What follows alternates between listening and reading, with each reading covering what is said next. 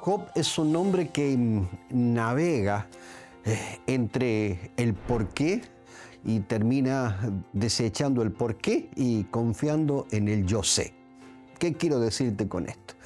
Al igual que Job, muchas veces nosotros nos preguntamos, ¿por qué me ocurre esto o por qué a otra persona le ocurre aquello? Y tratamos de encontrar explicaciones morales, explicaciones éticas, explicaciones bíblicas y espirituales.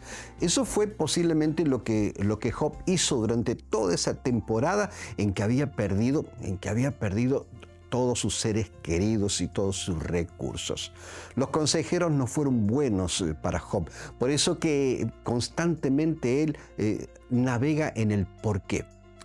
Pero finalmente el libro de Job eh, va a terminar con lo más importante. En ese proceso de sufrimiento, él llega a entender el yo sé. Yo sé que mi redentor vive. Querido, los porqués de la vida muchas veces no lo vamos a contestar. Lo importante es que sepamos que yo sé, tú sabes que nuestro redentor vive.